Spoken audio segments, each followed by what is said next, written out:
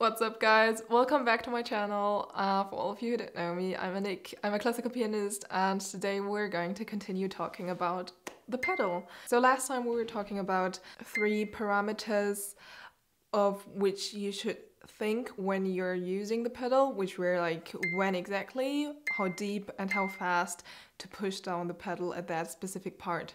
And today we're going to talk about a much more interesting and much more important question, which is why are we using the pedal? If your answer on this question is because my teacher told me to do it or because the composer wrote it into the scores that we should use it, uh, I'm sorry, this is not an answer. You have to think of what the composer wants you to do, what kind of sound effect he wants you to create. So if you don't know why you are using the pedal, then you should try to not use it in that moment. Because, you know, I think that we're sometimes overusing the pedal and some parts would sound even better if we are not using any pedal at all. So if you're not sure why you're using the pedal or if you just don't know it why you're using it, then you should just try to leave it away for that part and listen how it is going to change your interpretation. If nothing is really changing and it is actually sounding even better, then maybe you should not use it in that moment. If it does not sound better without pedal, then you should try to understand how the pedal is helping you to create a specific sound effect. So in this video, we're going to talk about three basic sound effects that you can create through the pedal or the pedal will help you creating these sound effects. It's not only created through through the pedal. That is something very important that you have to understand. So, um, let's get started with the first sound effect, the pedal as legato support. To play legato, you have like two techniques, which are the finger legato, which is only using your fingers to create legato, and the other type of legato is using the pedal. So basically, the pedal is just going to elongate a note so we can release our hand, relax it, move it to the next um, key and create this type of legato. And therefore it is important to understand what legato means because legato has much more and much deeper meaning than only its form of articulation. We are not going to talk about playing legato and how to play legato today. This is topic of the next video. Now let's look at some examples.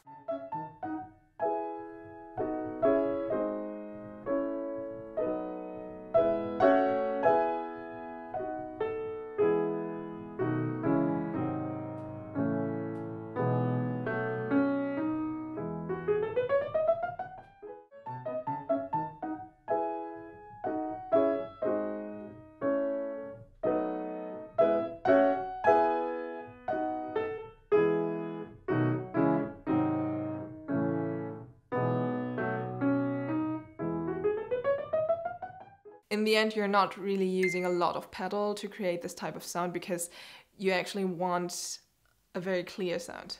Another sound effect that you can create with the pedal is space.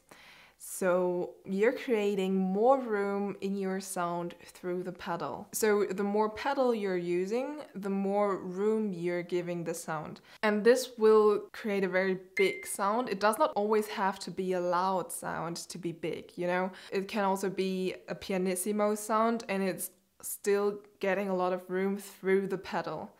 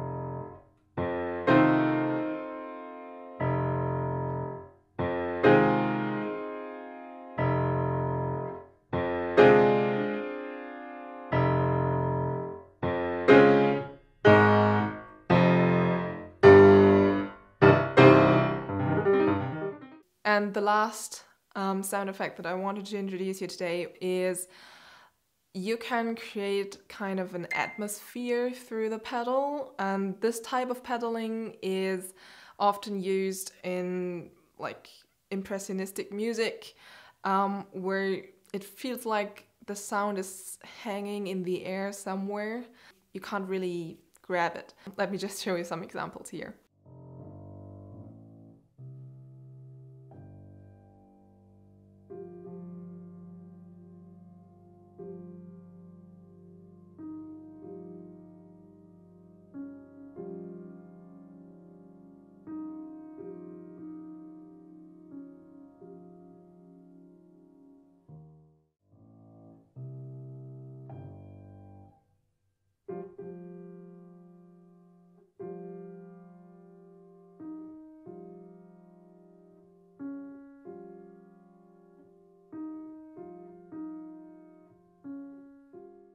In the end, I mean, these were only three sound effects that I'm using most of the time, but you know, you can create much more sound effects with the pedal. Um, and sometimes you're like creating a combination of these sound effects. So you have in the end like an infinite amount of possibilities. You just have to think about it because you should not use it if you don't know why you're using it. Now, as I said at the beginning, these things are basically created by the pedal, but not only. So to understand how you can use the pedal to create legato, you'll have to first understand what legato means. Again, I'm going to talk about this in the next video. Um, also, to create a big sound, it is not only the work of the pedal, but it can support you to do this. In the end, you have to make sure that you know why you're using the pedal, and then you have to listen very carefully.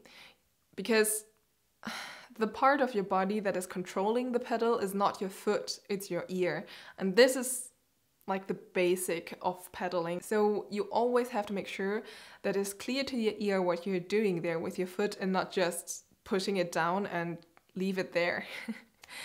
now, um, let's continue in the next video. Of course, there are much more sound effects that you can create with a pedal. So my question to you is, which other sound effects would you try to create with the pedal? Just leave it in the comments. And um, if you like this video, then please give it a thumbs up. Don't forget to subscribe and hit the bell. See you in the next video. Bye.